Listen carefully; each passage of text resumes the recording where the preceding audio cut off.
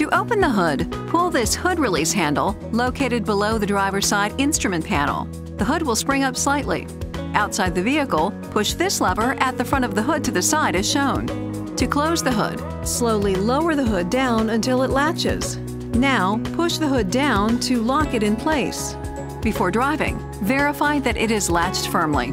Please see your owner's manual for important safety information, system limitations, and additional operating information.